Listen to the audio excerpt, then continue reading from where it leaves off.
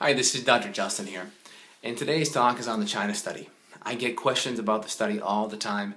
Is meat bad? Will meat cause cancer? Why do you recommend so much meat in your in your diets? So again, let's talk about that. So the China study is kind of broken into a couple different areas. Uh, we have the China study book, and it's important to note the book is absolutely nothing. It's totally different and segregated compared to what the study and what Colin Campbell's research uh, is just to keep that clear. So the book and the studies are two different things. So first things first, Colin Campbell's early research, he extrapolated that protein causes cancer by a rat study. And what he found was when protein levels were at 20%, cancer genes were on and these rats would get cancer. The next, when they decreased the protein down to 5%, these rats would no longer get cancer. So he assumed, hey, what we're seeing is cancer levels at 20% is going to turn cancer genes on cancer levels at 5% actually turns them off. The only problem is he was basically giving these rats casein proteins. Casein is found in dairy, but in dairy is also an anti-cancer protein known as whey. So normally we get exposed to these in nature, we get both at the same time. So there would be the, the anti-cancer effects of casein would be offset by the anti-cancer effects of whey. So in nature, we never get exposed to casein by itself. And I agree with Campbell. I'm not a big fan of casein protein. I think it can be very inflammatory and, uh, and, and gut irritating. That's why if I recommend any dairy at all, it would be raw, unpasteurized dairy where you're getting the enzymes and you're getting all the proteins in their healthy form along with whey. But in general, I agree with him. My biggest beef with him is the fact that you're not going to be getting exposed to casein like that in nature, and you can't go now and extrapolate, well, casein caused cancer at these levels.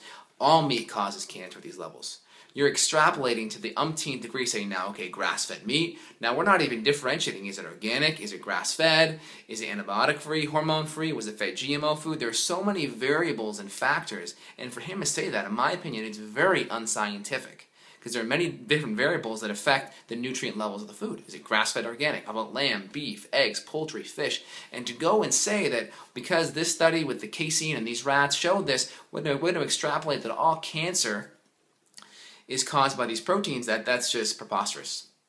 Uh, the next research Campbell did was different um, epidemiological studies. He gave different surveys um, through regions throughout China to fill out. And, and, based on his data, he came up with the conclusion that animal products cause cancer based on these epidemiological research.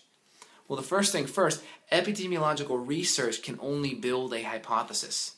I think, I propose the big issue is this, is that the fact he has to now have a clinical trial to now, to now test this hypothesis.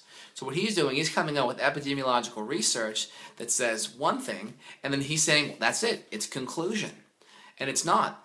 The epidemiological research only now says we have to do a study now. We have to do a clinical trial to now um, support this and see if this comes out the way that we think it did based on our surveys.